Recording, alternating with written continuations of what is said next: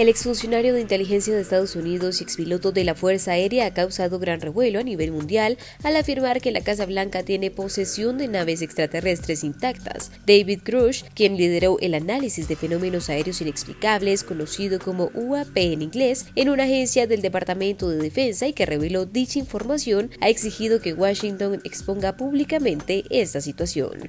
Durante una entrevista con News Nation, el piloto afirmó tener información y pruebas sobre la existencia de naves extraterrestres recolectadas por un proyecto secreto. Estas pruebas fueron entregadas recientemente al Congreso como parte de un caso de informantes dentro del sistema de inteligencia, así lo aseguró Grush. La noticia ha generado una gran controversia al sugerir que el gobierno estadounidense tiene vehículos de origen no humano bajo su control, lo que indicaría que todo este tiempo nos habrían mentido sobre los hallazgos. Están recuperando vehículos técnicos de origen humano, llámelos naves espaciales si lo desea, vehículos de origen exótico no humano que han aterrizado o se han estrellado, aseguró el exagente de inteligencia al medio citado. El exoficial indicó que tras haber entregado la información confidencial al Congreso, fue objeto de graves represalias. Después de 14 años en la inteligencia de Estados Unidos, renunció a su cargo en abril.